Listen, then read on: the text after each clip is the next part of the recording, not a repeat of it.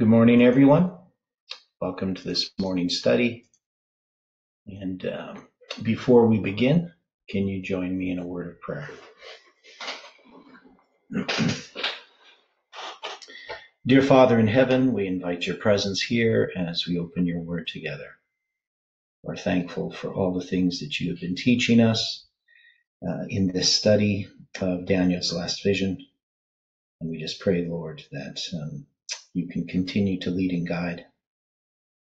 We ask that the things that we learn can be beneficial to us and in the work that you've given us to do. We pray for a power and conviction in our lives that we can follow you with all of our hearts. We pray this in Jesus' name. Amen. well, good morning again, everyone. So, what we've done, because I did a bit of a review at the beginning of yesterday's study, but you can see we have a lot of work uh, cut out for us. And I, I, guess the best thing that we could do is take this line of of Esther and draw it out. Now I did have, of course, that other drawing uh, with some of the dates in it, but I want to just do this again, and and this time put it on a line that if we can figure out uh, a time at the end or how we understand this as a regular line, not just dates. um, I can't remember if there was any details in this story that uh, um, that we had missed. I don't think so.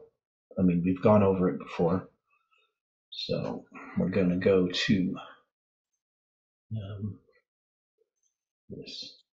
So this was the line that I had originally drawn um, when we had gone through Esther the first time. So this has the decree. It has some of the spans of time. Um, if you look at the top of this drawing, I also connected this history back to Saul and Amalek and uh, so Saul, son of Kish, and Agag, who's an uh, Amalekite, Amalek, and um, and of course we connect them to Mordecai and Haman. So that's of course an interesting detail, and that was just a study that we'd done before.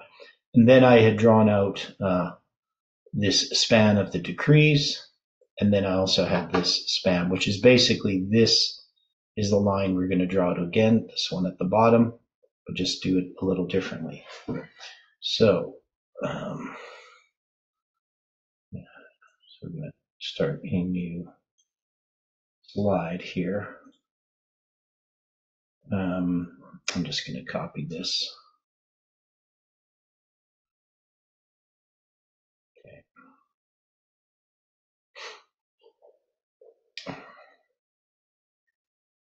This is all nothing.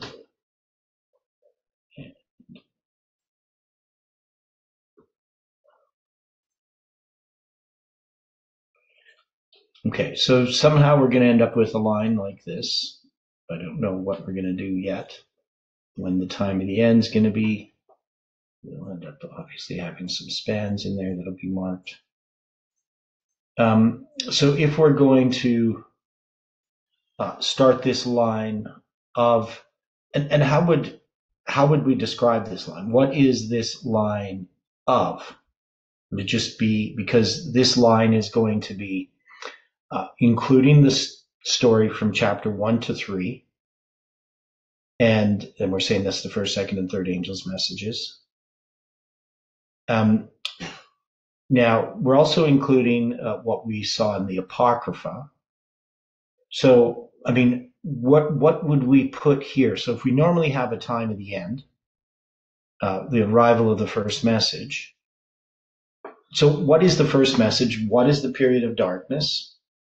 How would we draw out this line of Esther 1, 2, and 3?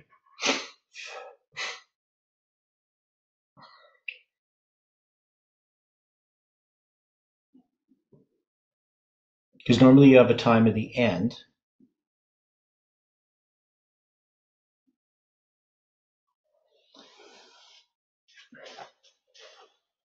So what's what's ending um, when Xerxes, with Xerxes in chapter one? Is there anything that we can do to mark the time of the end? Do we just take? Normally, you have a time prophecy uh, of Yeah. some sort. You have Yeah. two things. You have two things that are ending in in Esther chapter one. Okay. You have you have the feast that will end after 187 days, and you have his marriage to Vashti that will end. Okay. Yeah. So, so this um, this 187 days. I mean, it's not a prophecy, but it's definitely a symbolic period of time, Right. and um, but you know we have to take this whole chapter. We have to figure out um, what this this chapter is, how it is the first message. Um, you know, period of darkness normally that you have preceding a line. Um, now, remember, we we had connected this to uh, that history. Um, so just go back. I should remember the slide number. Um, so I'll do this this way.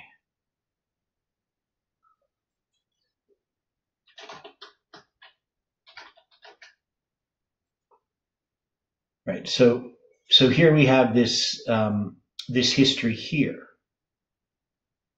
and and maybe we could sort of connect this to a period of time that's ending. That there is some kind of conflict that has gone on that now is being um, represented in this history.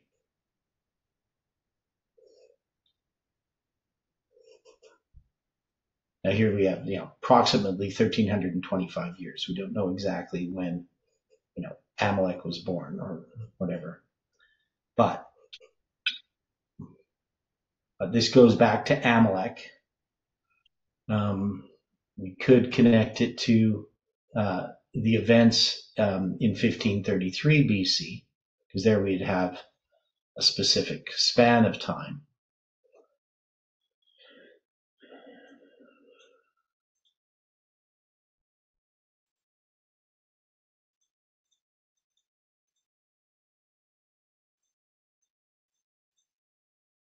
So you got about 950 years. Uh, that would be going to um, the third year of Xerxes. 950 years from 1533 to, no, it's not, it's a thousand, pardon me, a thousand and fifty years to 483. So 1533 minus 483. Yeah, that's going to be a thousand and fifty years.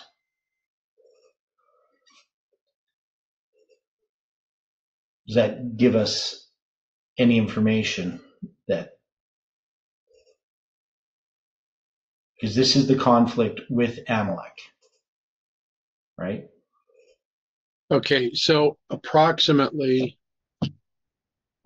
from the time of Amalek's birth to the time that Saul faces against Agag is approximately a period of 707 years.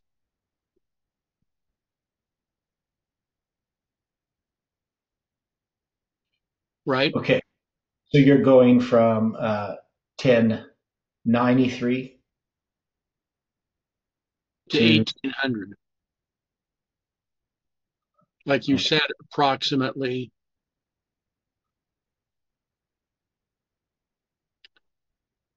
it, it shows about 1800 BC to 1093 would be approximately 707 years, wouldn't it? No, um, to to um, to Saul, you mean? Yes. Oh, okay, yeah. So seven hundred and seven years. Yeah. Now, it's interesting in this, I mean, we recognize the fact that Amalek is a son of Esau through his concubine, right? Mm-hmm. Yet, when the children of Israel are faced with Balaam and his, you know, his attempt to obtain gain that he he should not have had. We are faced with Agag in numbers. This is the prophecy that you're you're referring to, isn't it? In 1493? Um, yes. So the prophecy against Amalek in 1493. So Amalek attacks. And 40 years later, there's going to be this prophecy against Amalek because that's in Deuteronomy. And that's going to be, uh, we're going to find that that's going to be fulfilled 400 years later, according uh, to the spirit of prophecy. So we're taking it that 400 years from when the prophecy is given. And that brings us to 1093. Um, so that's why we have that date. So we're just Well, taking. well, well, I'm recognizing the validity of Deuteronomy 25:17. It's also interesting that the first mention of Agag occurs in Numbers. Okay. Well, yes, because that's going to be. Uh, let me see here. What's what's the chapter and verse? 24/7.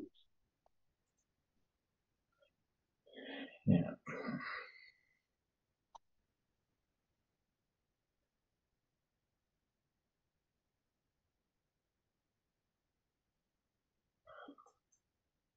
Yeah, and this is Balaam's prophecy. Um, yeah, so it's it's it's a name that you know Agag is almost like a title or just a really common name, just like Pharaoh, right? But of the mentions of Agag in the Bible, this is the first reference. All of the other references come up in First Samuel. And it's a seven and one situation. Yeah. Now it is possible that Agag here in Numbers, just according to uh, what I'm reading here, it could be Magog. Um, it actually says Magag, not Agag. And So it might not be a reference to Agag at all. okay, and what version is that coming from? The Hebrew Bible, Okay. right? So that it just may be a mistranslation as Agag, just interpreting. Um,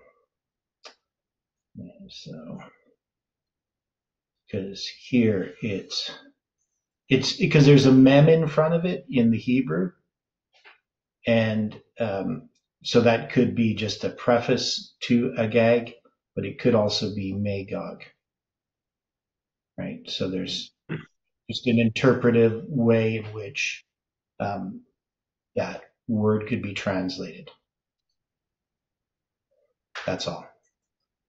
So the King James cho- chose to translate it as, because the mem in front uh, means um, uh, like it's just well because the, his king shall be higher than Agag. It says in the King James, Right.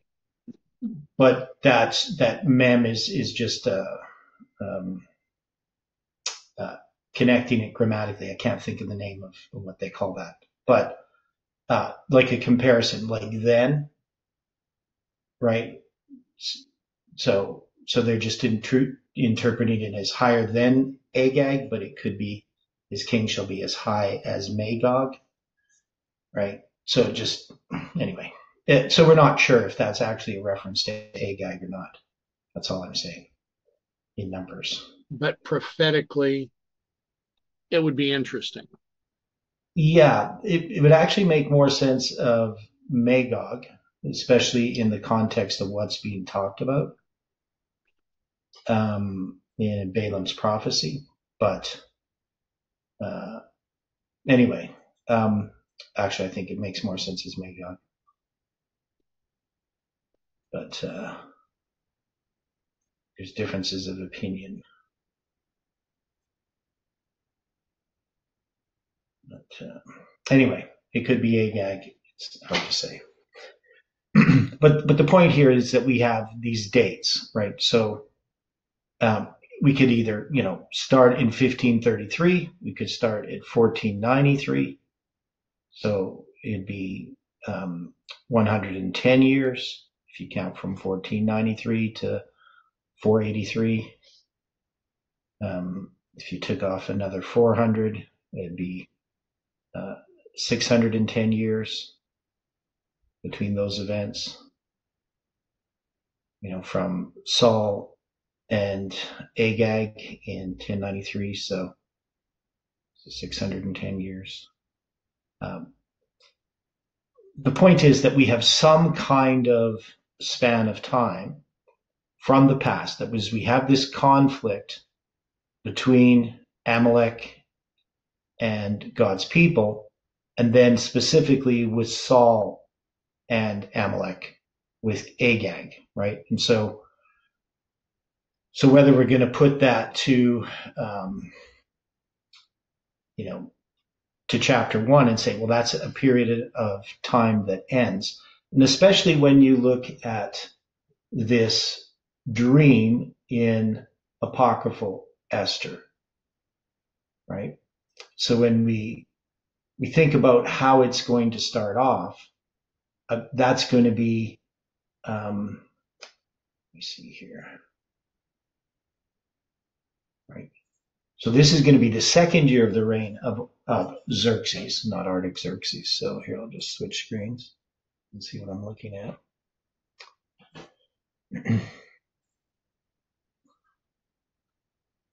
So in the second year of the reign of Artaxerxes, we're going to have this dream. So that's going to be in 484 BC, right? That uh, Mordecai has this dream. So he has this dream. Now that's not going to be fulfilled in the next year. That's not going to be fulfilled until um, uh, chapter 2. But if we take this as an arrival of a first message, um, we could say that Mordecai's dream is this first message.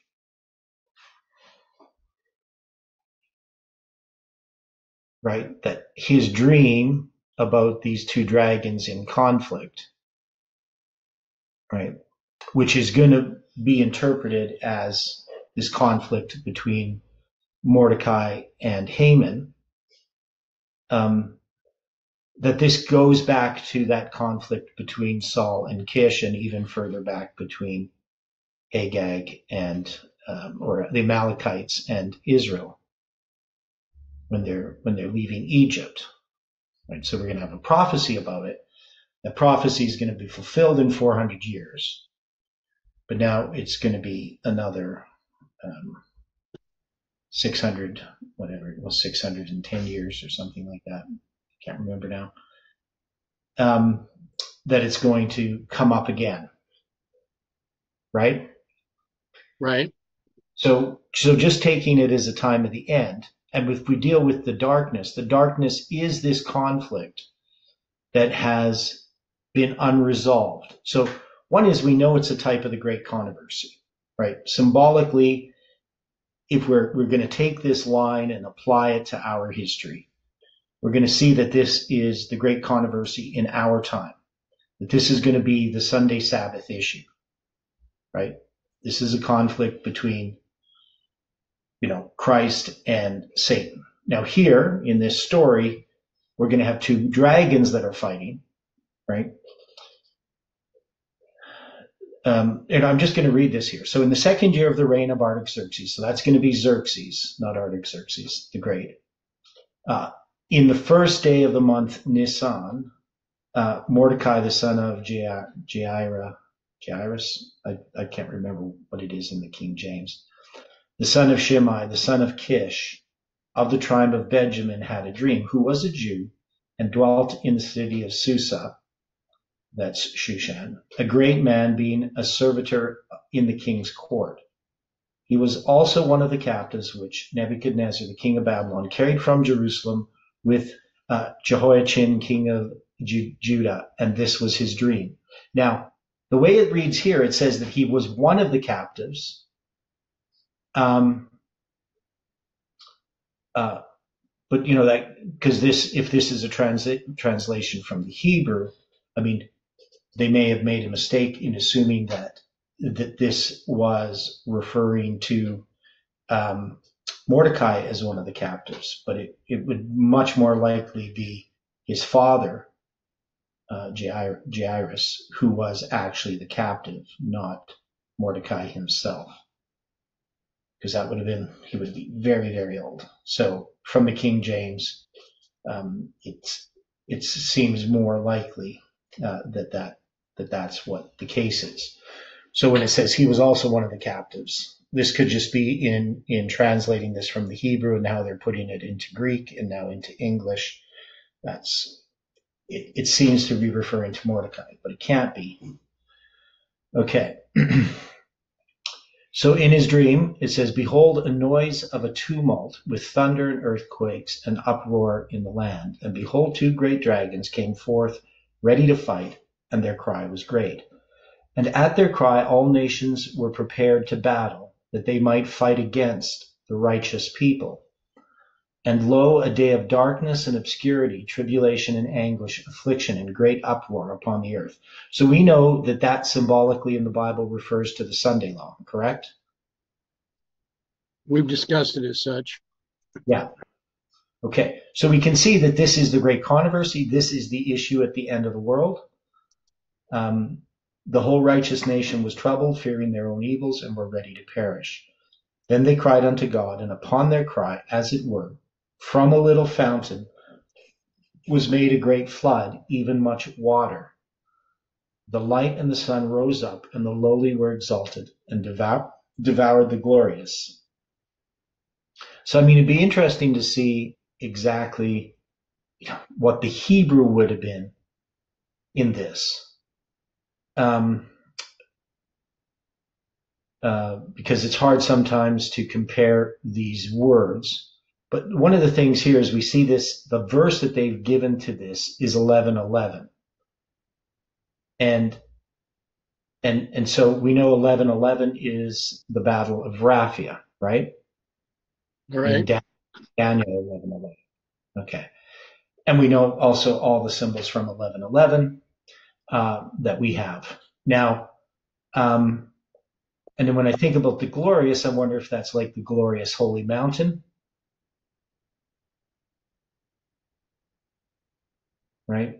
Like whether that's that same type of word in Hebrew or it's some other word, but we don't know because I mean, I could look at the Greek, but the Greek's not going to tell you what the Hebrew said. So this is translated from the Greek. But now, if where we have this where it says the light and the sun rose up. Yeah. Symbolically, could this be showing us the end of the time of darkness? Well, that's what it seems like, right? So this, um, so this is the end of the period of darkness, right? Sun, the sun rose, it's sunrise. Okay, so now when Mordecai had seen this dream and what had God had determined to do, was awake, he bare the dream in his mind, and until night, by all means, was desirous to know it. And Mordecai took his rest in the court with Gabbatha and Tara, the two eunuchs of the king and keepers of the palace.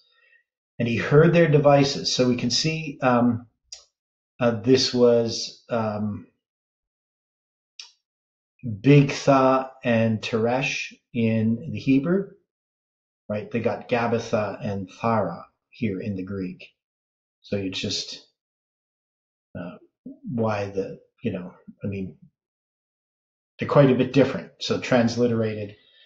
And we know that these are, are Persian names, but here these are Greek names. So they might have just put them into a more um, Greek form. So these are the two eunuchs of the king, the keepers of the palace. And he heard their devices and searched out their purposes and learned that they were about to lay hands upon Xerxes the king. And so he certified the king of them. So the king made a record of these things. Mordecai also wrote thereof. So the king commanded Mordecai to serve in his court, for thus for this he rewarded him. Howbeit Haman the son of Hammedatha the Agagite, who was in great honor with the king, sought to molest Mordecai and his people because of the two eunuchs of the king. So, um,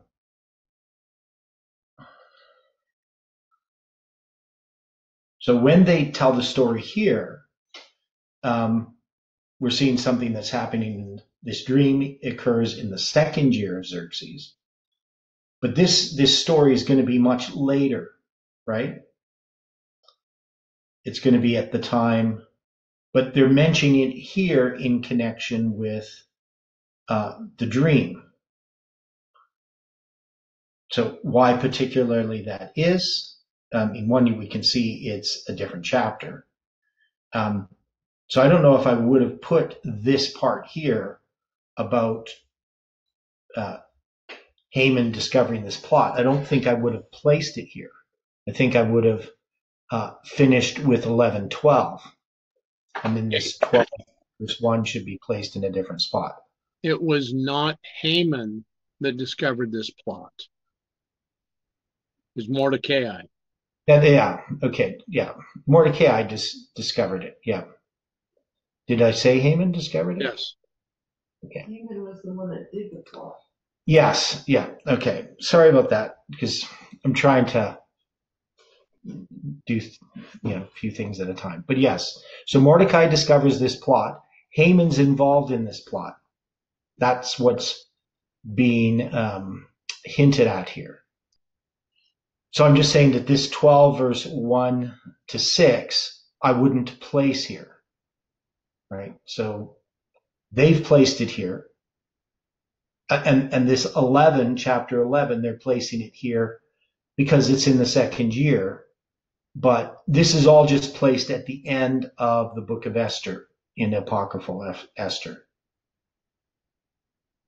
so these chapter and verses uh, have to do with the apocrypha and where they placed these this greek part of the story of esther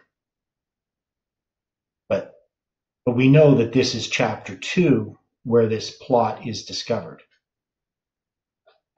Right? So it's just out of time. Right? Because we're going to have it here, Mordecai discovers the plot. So when the virgins were gathered together the second time, then Mordecai sat in the king's gate. So that, that part of the story doesn't go there. That's all I'm trying to say. And we got Big Bigthan and Teresh here. So it's basically the same story, but you can see how different it is and, and the details that are left out.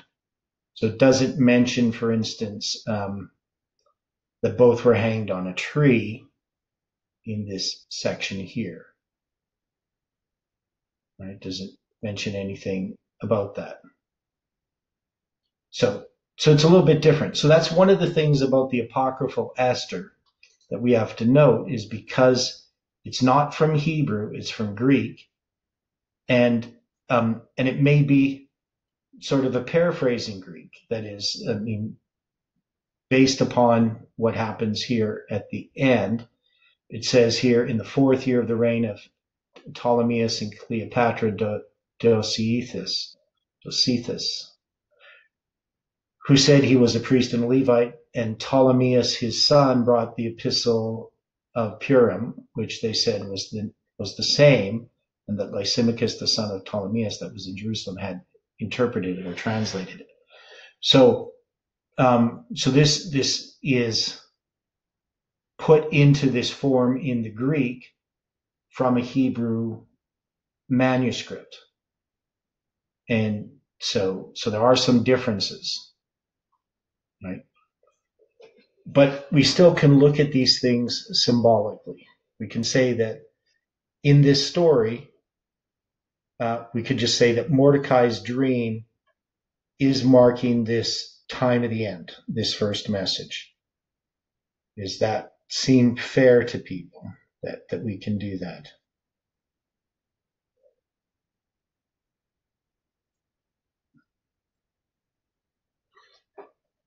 People okay with taking Mordecai's dream from the Apocrypha and putting it on our line?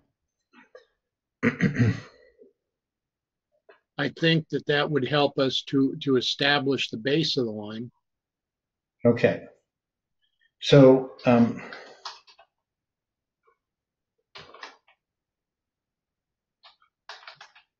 how do you spell Mordecai? Is that how you spell it? How do you spell Mordecai? It just doesn't have an H in it, does it? No, it doesn't. Okay, there we go. And I think it is AI. Oh, Yeah. There we go. There, that's better. Okay, so this is going to be the end of a period of time. So, um,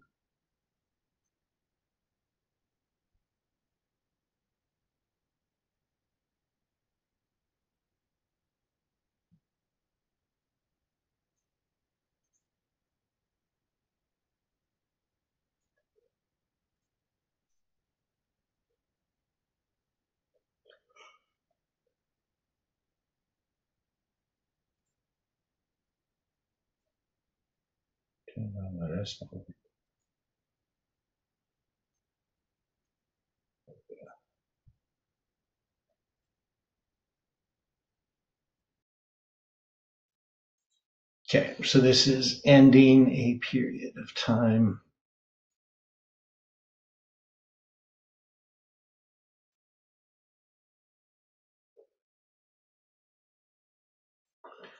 It's the time of the end.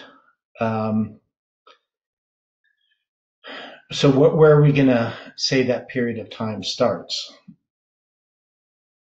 Are we going to start it with the, the prophecy regarding that, or are we going to start when we deal with um, uh, Saul and Agag? So in 1093.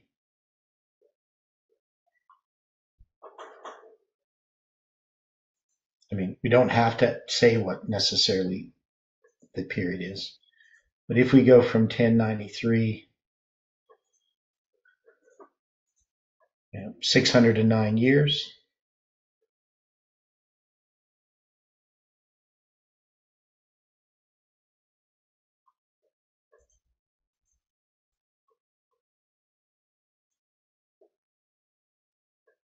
and just do it that way, 609.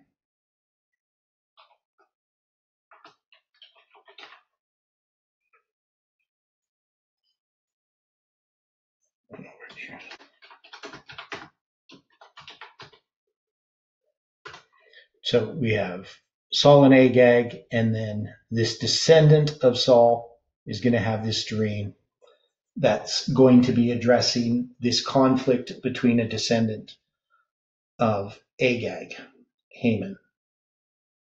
Okay. Now, as far as 609, is there any significance in that?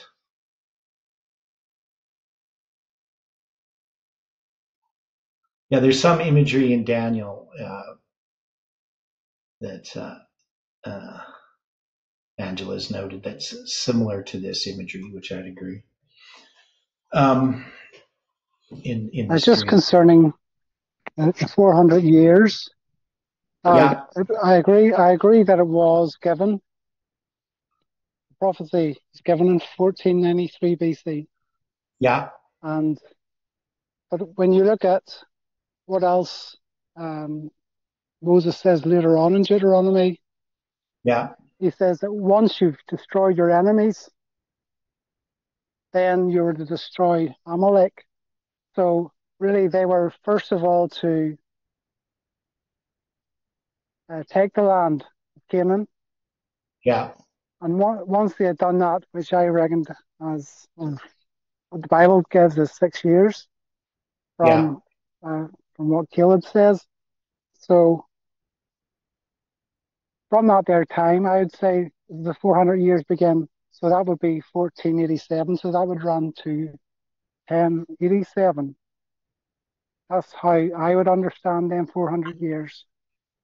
So that relates to the time when 10 years after Saul was reigning Yeah. and when David was born as well that their time. So Mhm. that's where I would have the 400 years ending. Yeah. Yeah, the thing is just Ellen White's statement is still a little bit vague in the sense that she just says that that the the sentence is delayed for 400 years. Right? She does say that, yes. So Deferred or yeah, so so we're not really sure where she's counting that 400 years from. Right? It's it's you know, is she counting it from the prophecy or is she counting it from when it was supposed to happen? Um, and then uh, it seems to me, though, I, I mean, I think it's better to place the end of the 400 years or the, the, the event where it happens um, in earlier in Saul's reign than but but anyway, we, we just have 609 years if we go from the prophecy. But exactly where to start that and even where to end it, because we know it's going to be, um, you know, this is the time of the end. So we're just marking how long it is between that prophecy and, and this event, or not the prophecy, the, when when the event is fulfilled. So when Saul and Agag have their conflict, it's still going to be about 609 years, right? Even if we count the 400 years differently. Does that make sense? well, it's going to be in that region, yes. Yeah, because it's because it's when when Saul comes in contact with Agag, and now we have Mordecai and Haman. So, so we got Mordecai's dream, which I should put in there.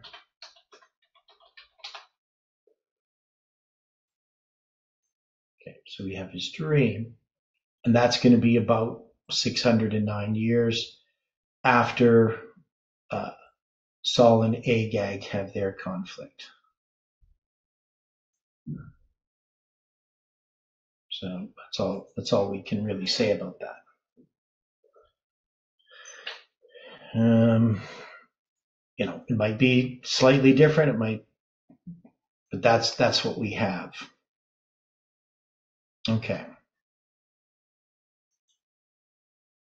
Um, so that's the dream. So so what is the formalization? Because we're saying that the first message is chapter one. Um, so we get the first angel arriving. We need a formalization. We need an empowerment. So how does the story of Xerxes stirring up all against the realm of Grecia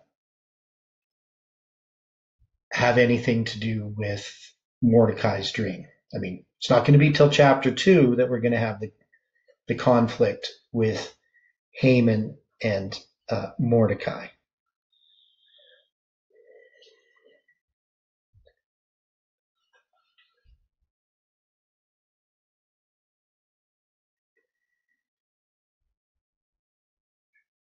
But remember, Mordecai has a dream, and there are going to be, be events leading to when his dream is fulfilled, so to speak. Right? Now, it doesn't give us an exact time either um, for this dream, like a specific date. It's just, wait, um, actually, it does. The first day of the month, Nisan.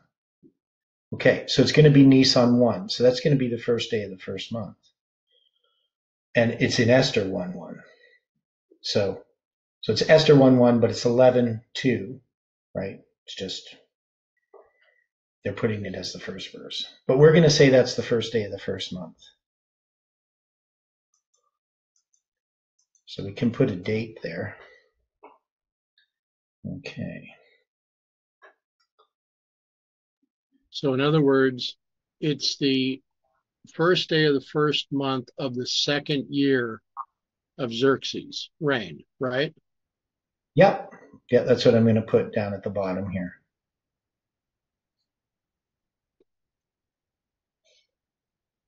First day, first month, second year. Oops, that didn't work. Got to use the right computer. First, first. The right keyboard. Okay, so we get the first day, first month. So we have that symbol of the first day of the first month. Now, now we can actually give a specific date to that then, right?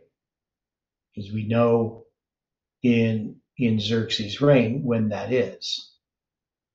So it's going to be the second year. Um,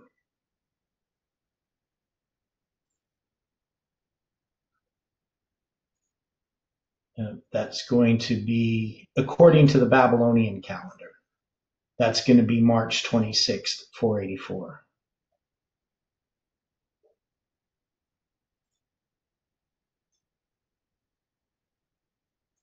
So, so, So, is that going to be 31 years after the temple is dedicated?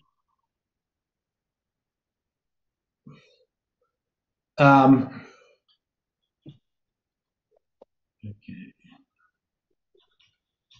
Um, so yeah, because the temple is dedicated in uh, 515.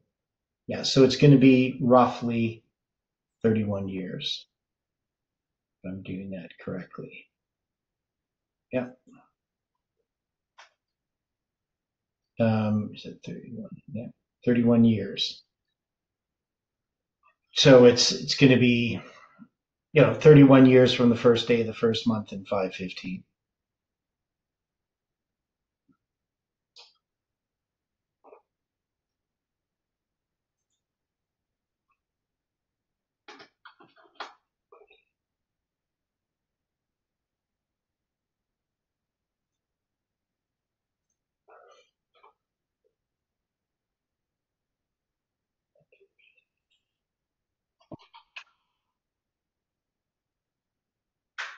Okay, that makes sense. So we got a specific date for his dream. Now, the first day of the first month, of course, is important, right? Because we have been using that symbol all through, right? Uh, we've used it. Um, and so this is uh, one year to the day from when the 187 days is going to commence. Okay. So, so I'm just going to say um, that the first day of the first month in the third year is going to be this uh, formalization. That is, he's going to start this process. The 187 days are going to begin, and then uh, the empowerment would be that 187 day period ending. So we're going to take, say the 10th day of the seventh month in the third year. And that's going to be, so this is going to be, I just got to put the actual dates. It wouldn't still be March 26th and 483. Nope. No, it's not going to be.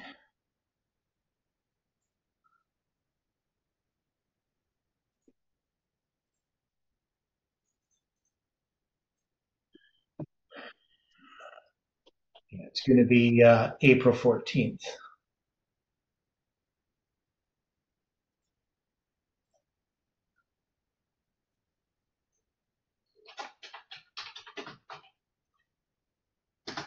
And then uh, this date is going to be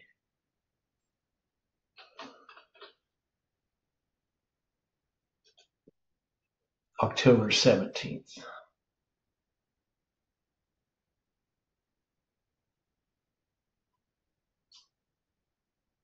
Okay.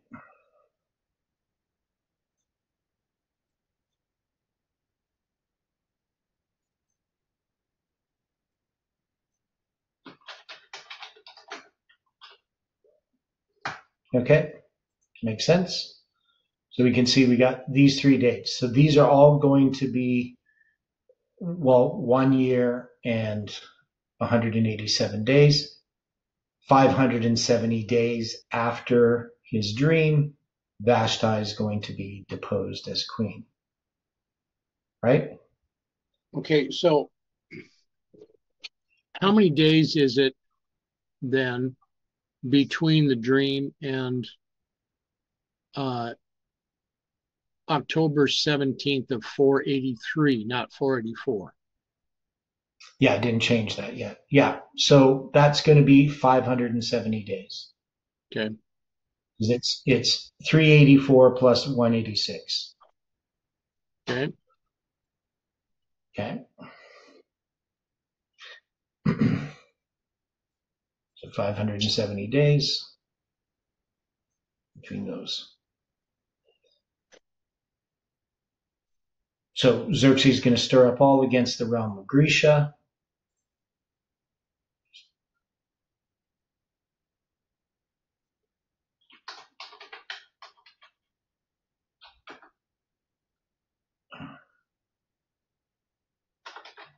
Just call it his planning. So Xerxes planning. And then uh, Vashti being deposed.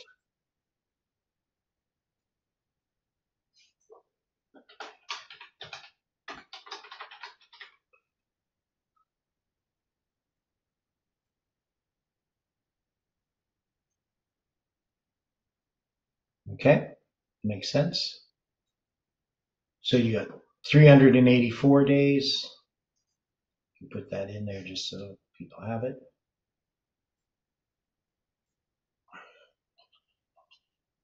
Oops, three, four.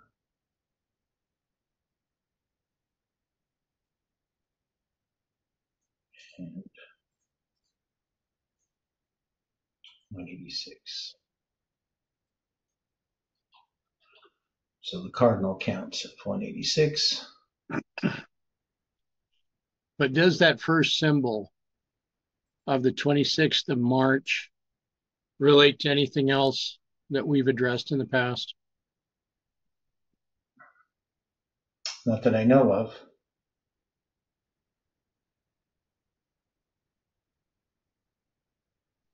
Two six three.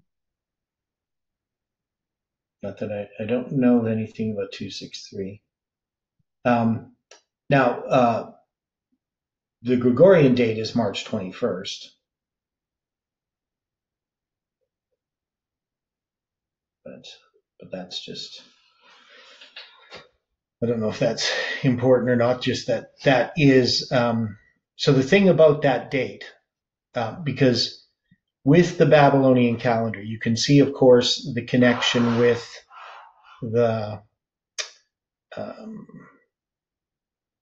the equinox, because you're going to use the equinox as the time in which you decide whether or not you're going to add an extra month. Right. So in that year, um, they're they're going to add that extra month. That is, the the new moon is going to be sighted um, after the spring equinox, and so so they have to add that extra month, or at least they should, but they don't. That is, the Babylonians decide, no, we don't need the extra month yet, but on the biblical calendar we do, right? So there's a difference here. So if you looked at the first of Nisan in 484, there would um, it would it would end up being in April. Well, the reason the reason I was asking that, I thought 263 had some relationship to one of the studies we'd done in the book of Acts. Um, because as I look at April 14th, if I express it in the European version, it would be uh, 14th day of the fourth month or 144. yeah, yeah. Um, so I think you, the number there in in, in Acts is there's um, it's it's 273. So Okay. there's not 263. So All that's right. going to uh, the number of the Levites. So there's 276 people on the ship. Okay, Right? And then I stand out- corrected. Okay. Um, yeah, so where is this? I'm just going to show you share the screen. Yeah, I mean, you could obviously, you know, take those three digits and connect it to Muhammad's death, but I don't know. I don't think it, it would be relevant in this context. But, uh, Okay, so I just want to show you here. So when we go to this year, um,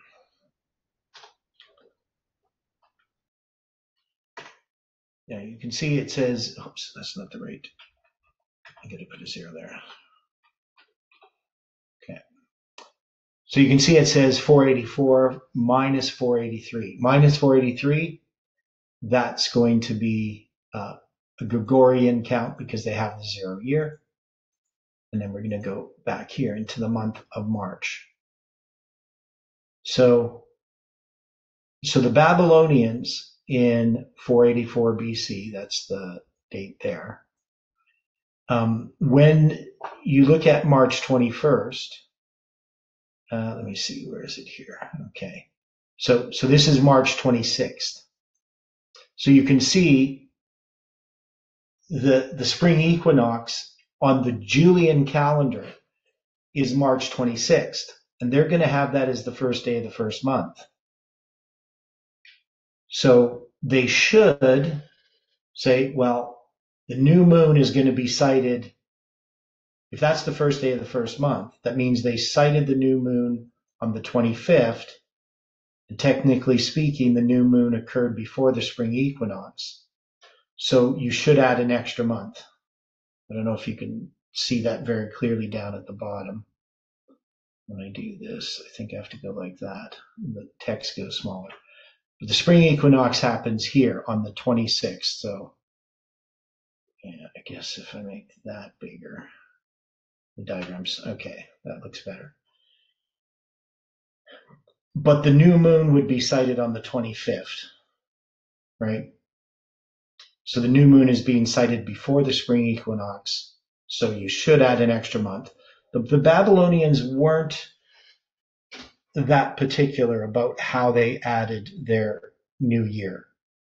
So, so we don't know particularly why, how they, I mean, we know how they determined the spring equinox, but as long as it was close to the spring equinox, they would, um, just start the month. It would be if the new moon happened quite a bit before the spring equinox, uh, they would add the month. If it happened um, in conjunction with the spring equinox, they wouldn't add the extra month. So they would just start the year. So they just started the year, even though technically they should have added an extra month.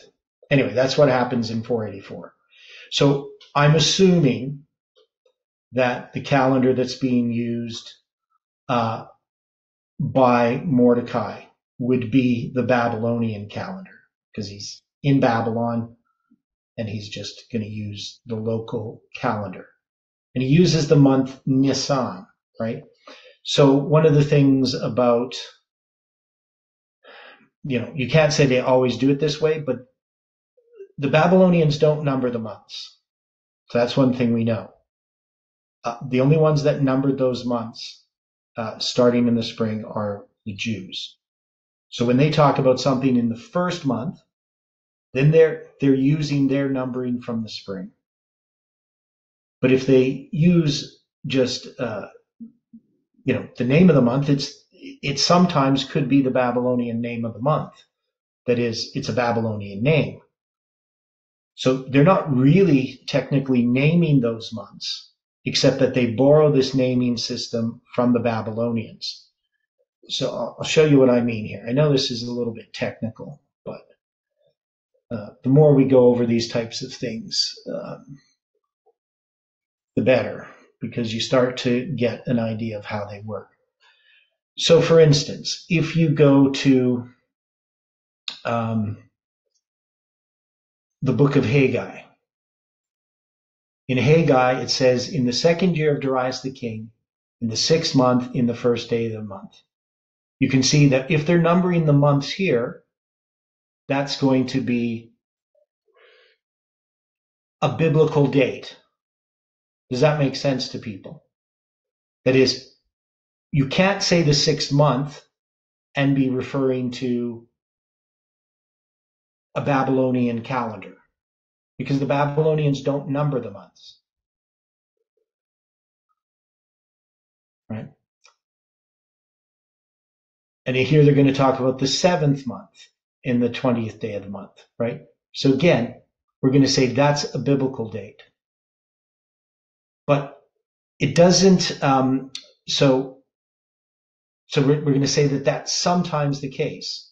But in Ezekiel, he's always going to number the months. But I take the, I take the case that even though he's numbering the months, he's numbering them.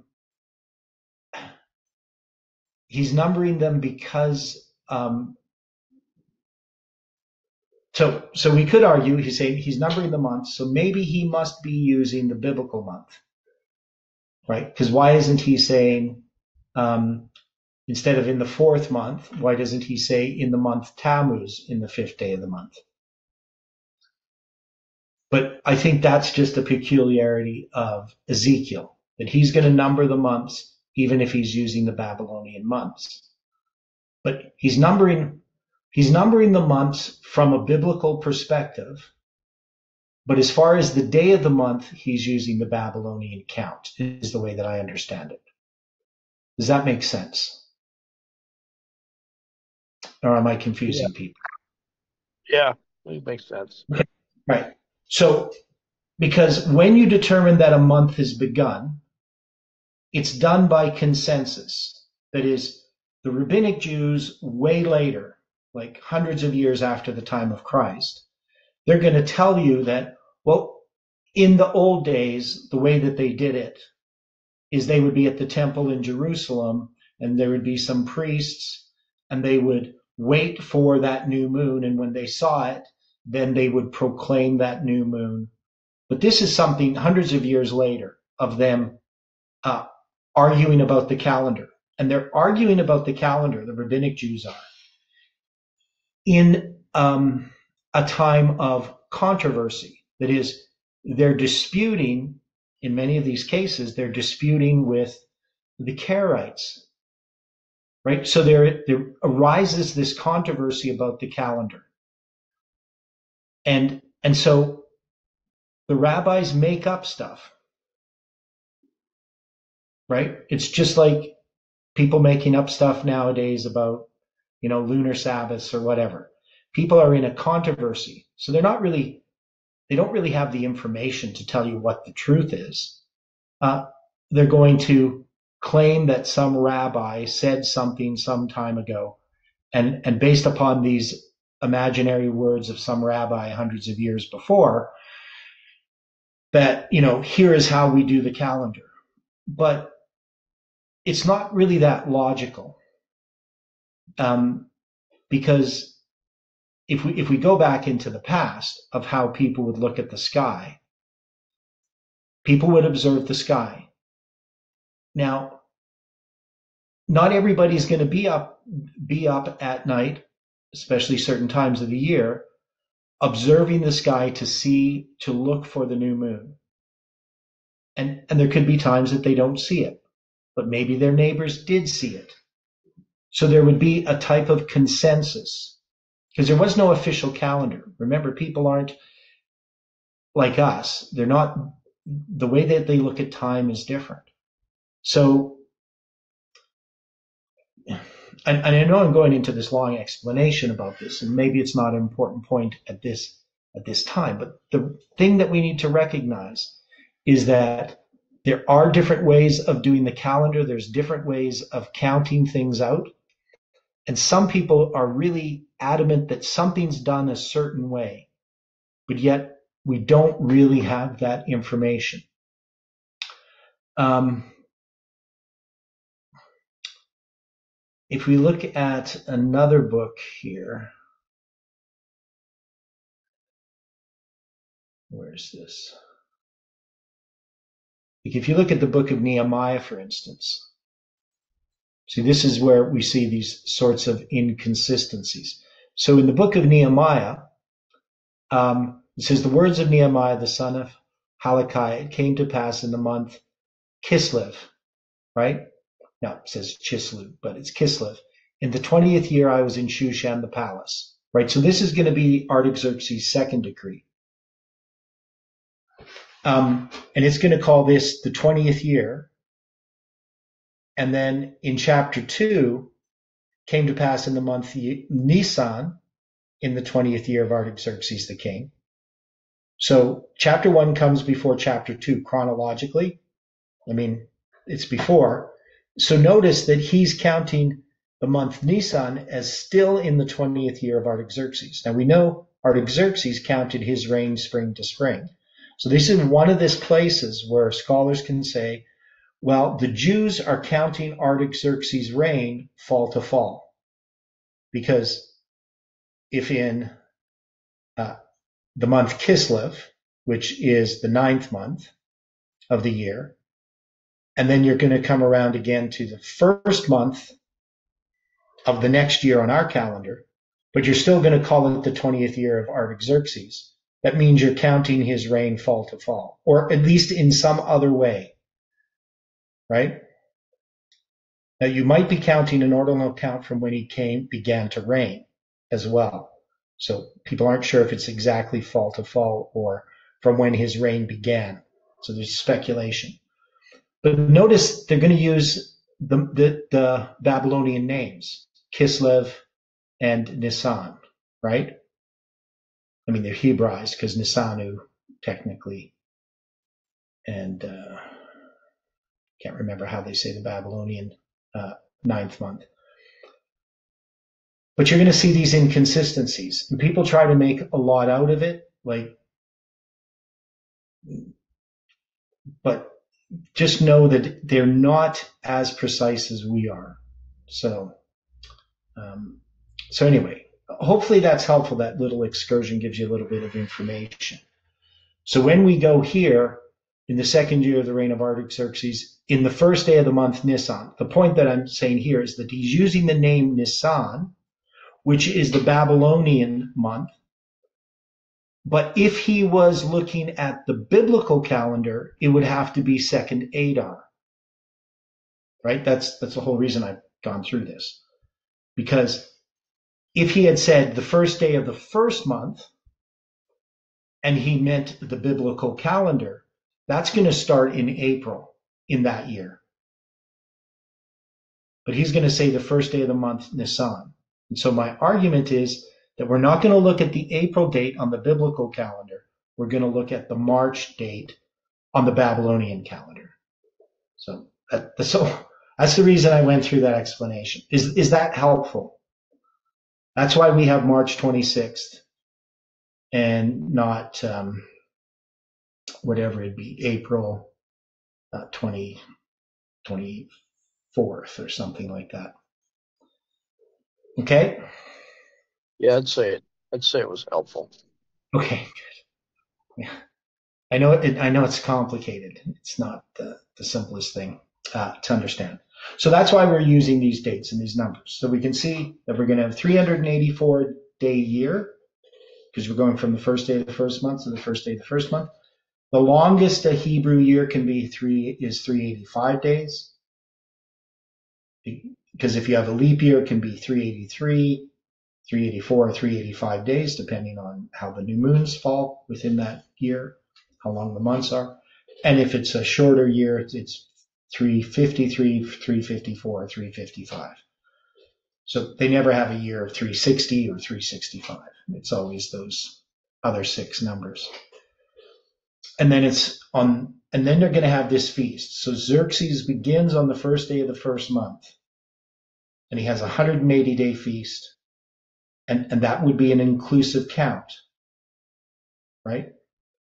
And then he's going to have a seven day feast. That would be an inclusive count.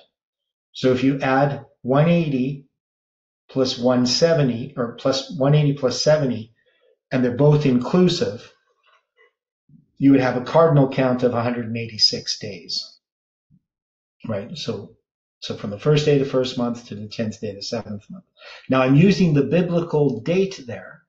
Technically, it would be the ninth day of the seventh month on the Babylonian calendar because they count every single month. But on the biblical calendar, it's always going to be 186 on the Babylonian from the first day of the first month to the 10th day of the seventh month. It's mostly 186 cardinal days, but sometimes um, it is 187 cardinal days. So, so we're, we're just going to the 10th day of the seventh month on the biblical calendar.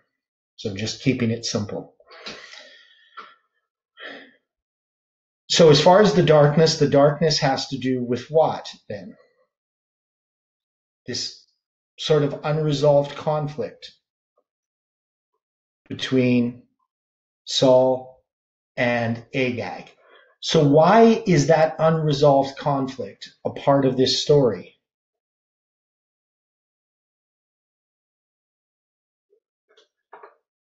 What's the symbolism there?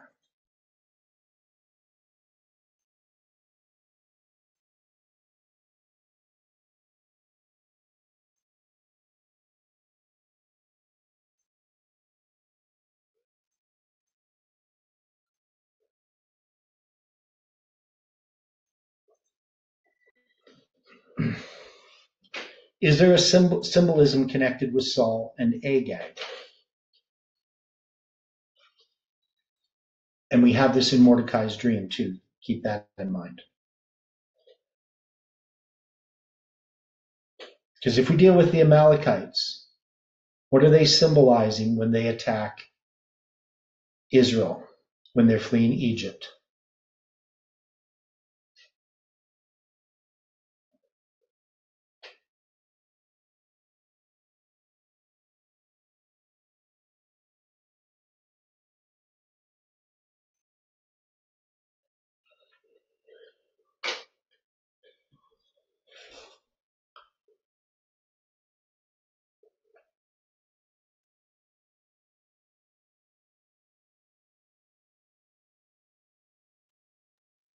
Well, I'm looking at Deuteronomy Well, twenty-five. uh, yeah, Go ahead, Stephen. Yeah, just uh, Satan. Okay. Yeah, Those okay. that fear not God. It, they attack, attacked the, the, the Israelites who are fleeing when they are feeble and weary. God holds that against the Amalekites, their descendants. Right. So so we can see that this is Satan's attack upon God's people. So the Amalekites are representing that. So so even when we think about this this story of the prophecy in whatever it is, Deuteronomy 24, verse 17 or something like that. Um, 5, 17 through 19. 20, 20, 25, Deuteronomy 20. Right. Okay. Right. So remember, it's it's going to be about remember what Amalek did unto thee by the way when ye were come forth out of Egypt. How he met thee by the way and smote the hindmost of thee. Um, um, even all that were feeble behind thee when thou wast faint and weary, and he feared not God.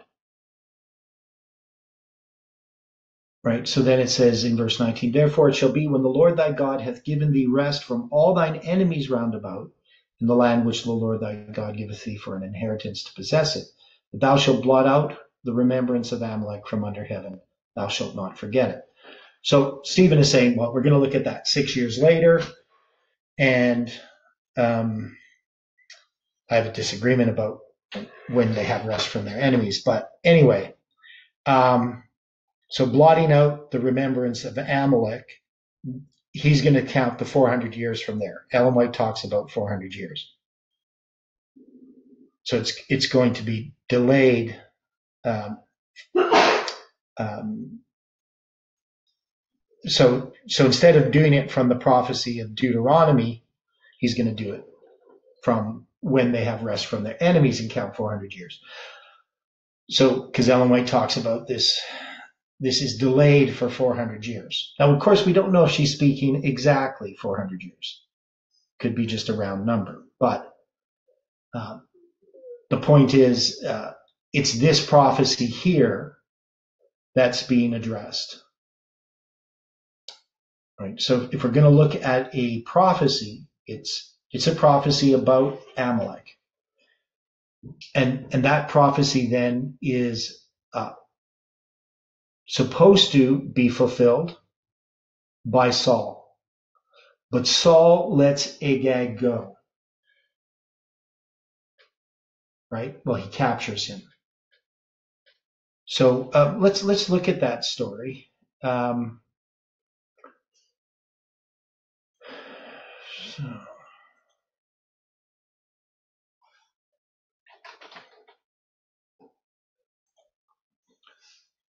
So it's going to be in First Samuel.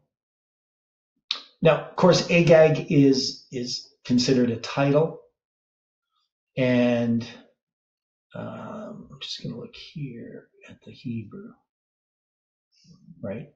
So it's it's this number ninety means a flame, uh, and it's just Aleph Gimel Gimel is how it's spelled Agag. And, and in that other place that we saw it, it had a mem in front of it, uh, the letter M. Uh, oops, that's not what I wanted to do. I wanted to do this. Okay, so we have Agag, king of the Amalekites, alive, and utterly destroyed all the people with the edge of the sword.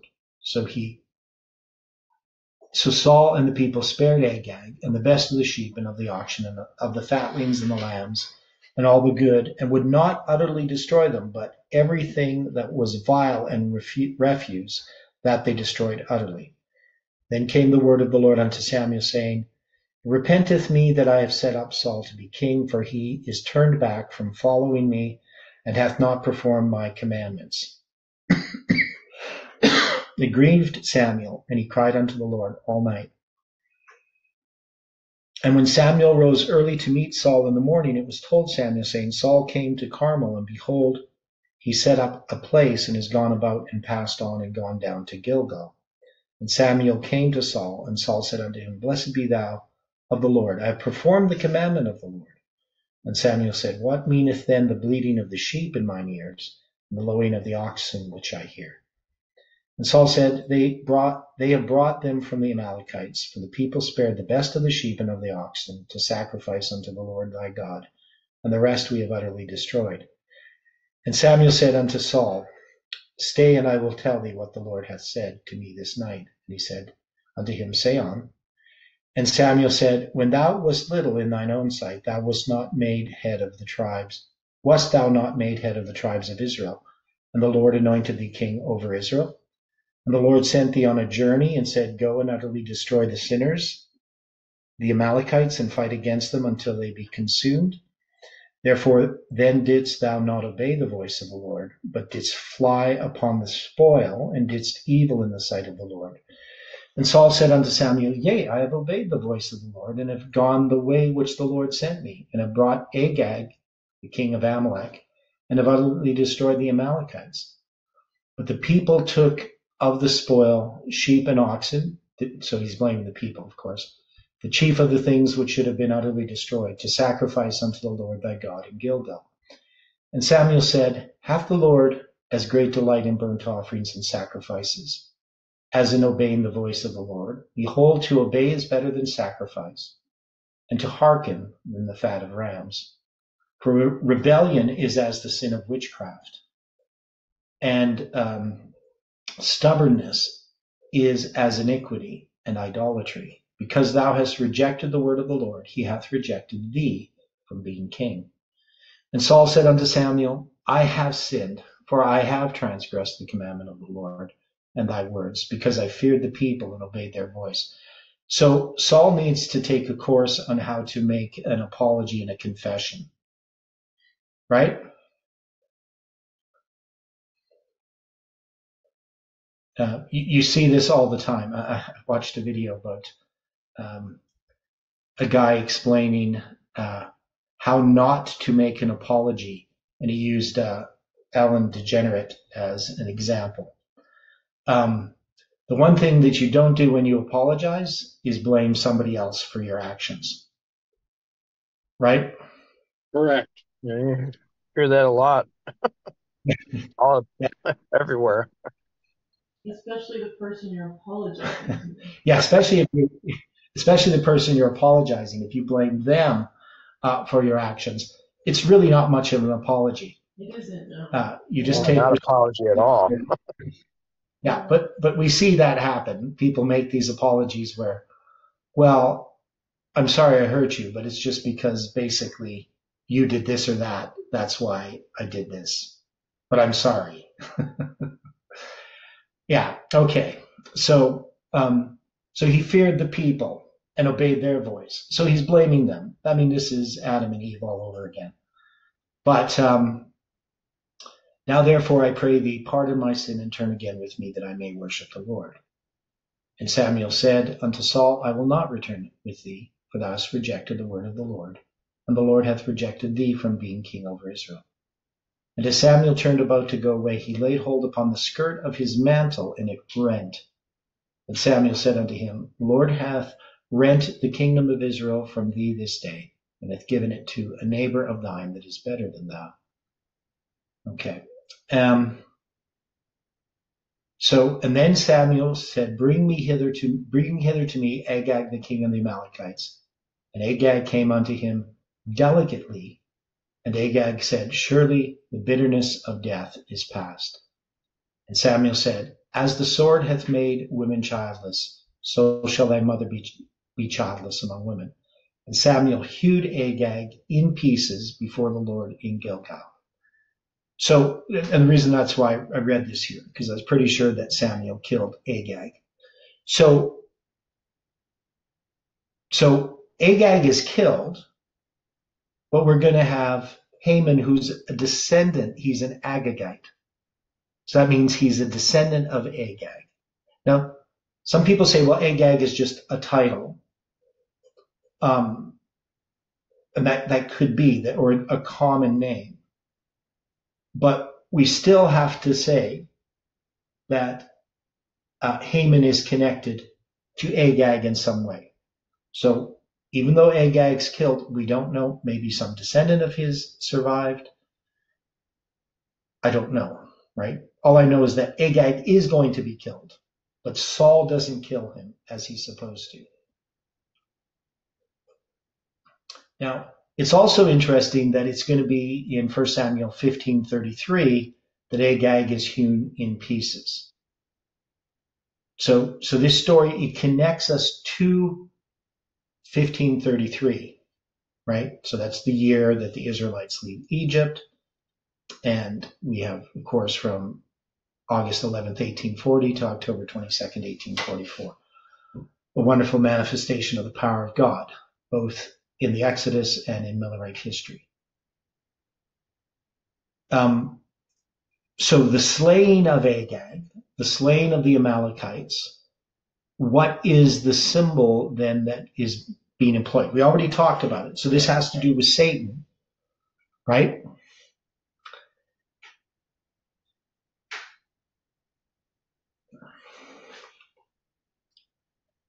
So we're going to have this conflict and this conflict is now going to be worked out in this story in the book of Esther.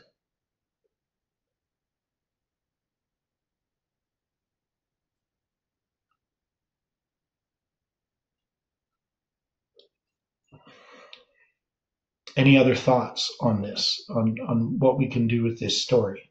Any observations?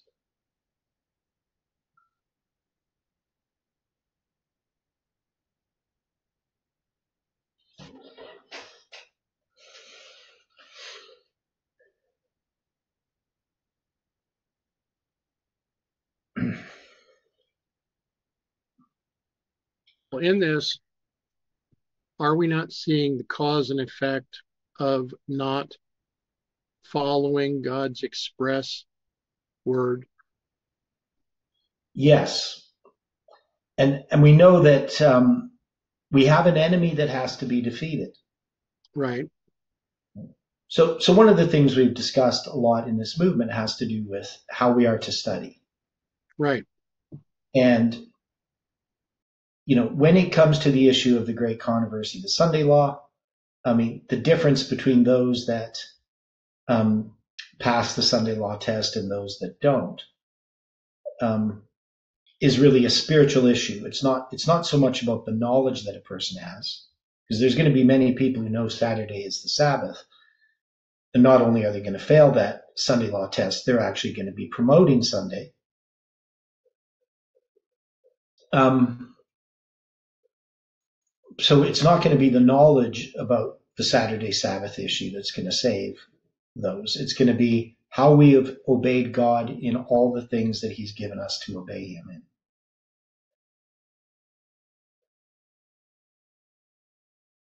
But that, that is connected with studying God's Word. And the more we study God's Word, the greater power we have to obey God.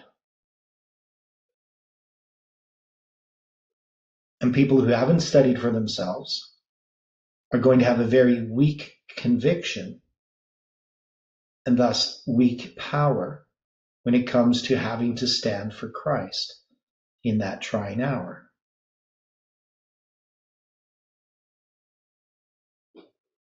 So now the other thing that we have discussed, because when we deal with the Amalekites, remember they're they're they're doing the work of the adversary, right? That is gossip, rumor, innuendo, slander, libel if it's written down, right?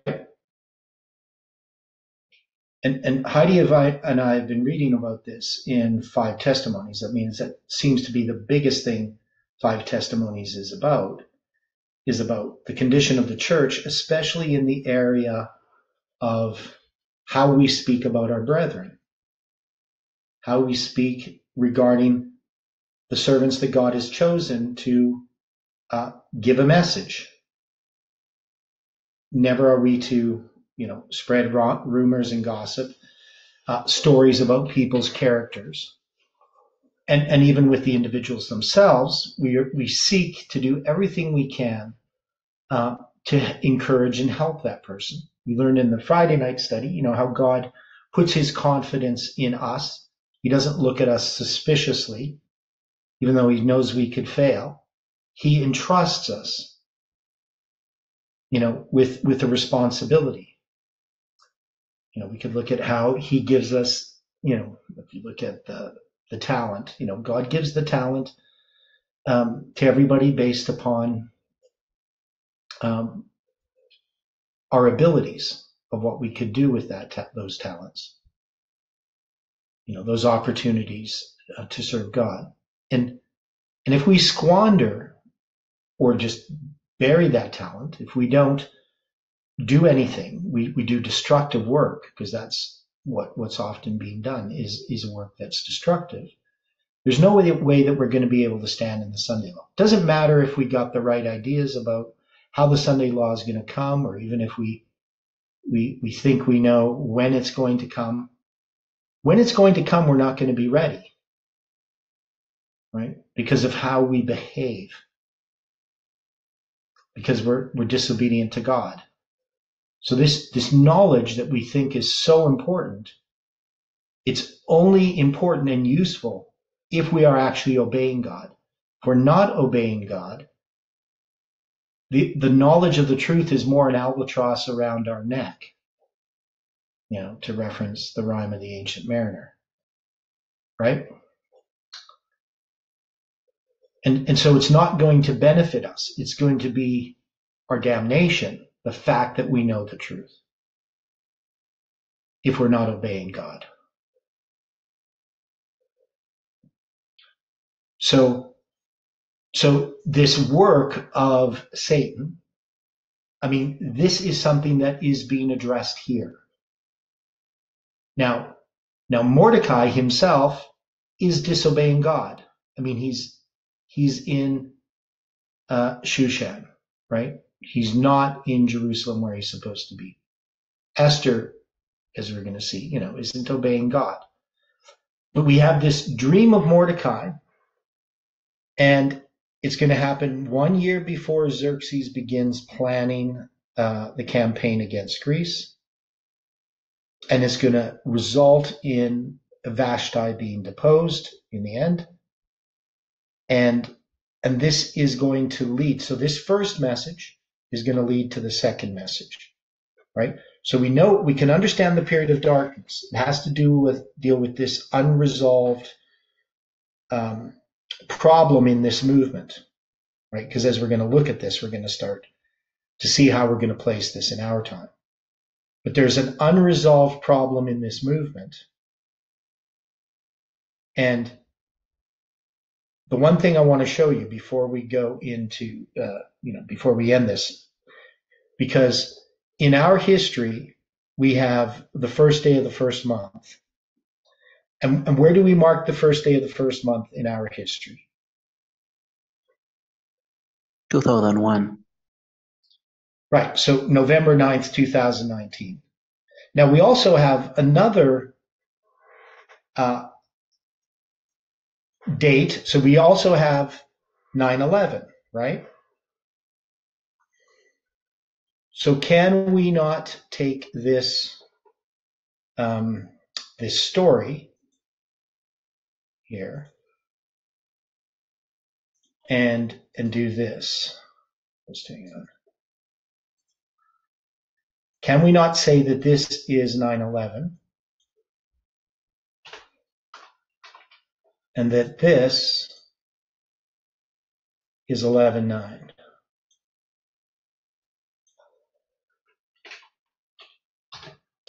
And that this is July 18th. Okay, can we do that?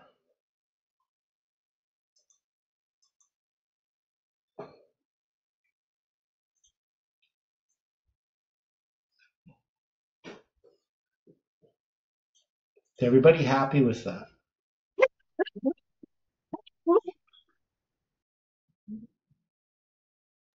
Sorry about that. So yeah, so Samuel says, it's logical, right? Because we have these two first days of the first month. We have them in our history. We've connected 9-11 with the first day of the first month.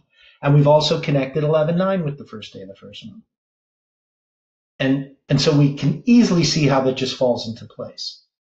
So in our history, uh, we would have to then see how Mordecai's dream, Xerxes' planning, and uh, Vashti being deposed is connected with this message regarding Saul and Agag.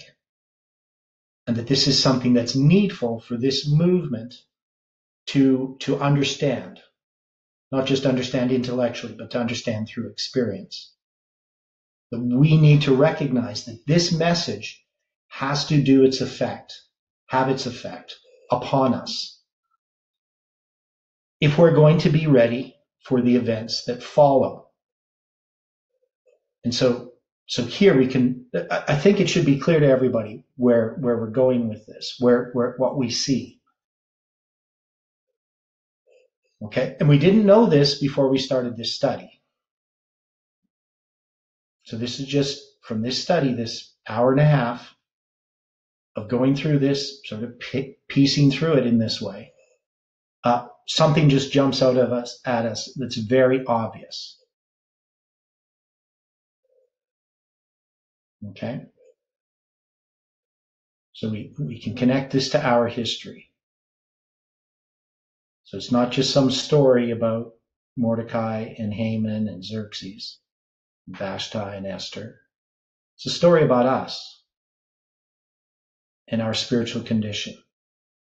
And it's this battle, something that should have been resolved a long time ago, but it still keeps creeping up. Exactly. Right? And, and we've never dealt with it, right? And, and part of the problem that we have is, you know, we're a movement that comes out of the Adventist church and we've inherited the attitude of the church. In some ways, we're worse than the church. And how the church dealt with us, we deal with each other at least as badly, if not worse, than the church dealt with us. So let's close with prayer. Dear Father in heaven, thank you for the study today. We pray that it will do a work upon our hearts. We know, Lord, that we are unconverted, that uh, that what is being expressed here is something about us. We just pray, Lord, that you can forgive us for our sins. Help us to encourage your people. Be with us throughout this day and bring us together again to study your word. According to thy will, we pray and ask it. In Jesus' name, amen.